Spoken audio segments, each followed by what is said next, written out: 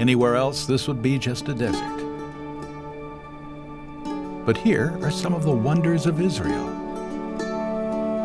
The fortress Masada, the Dead Sea, the Negev, the Ramon crater.